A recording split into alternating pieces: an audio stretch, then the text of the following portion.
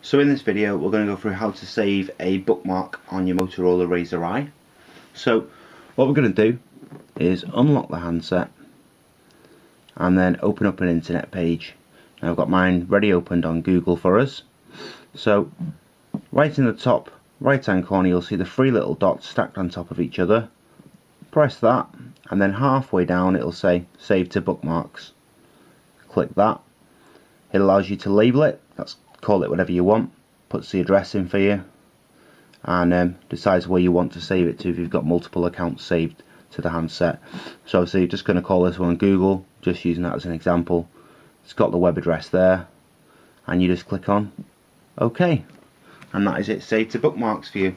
So then when you want to access a bookmark you would put menu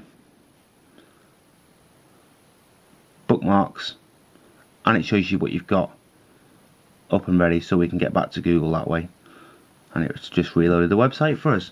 I hope that was helpful. Thanks for watching.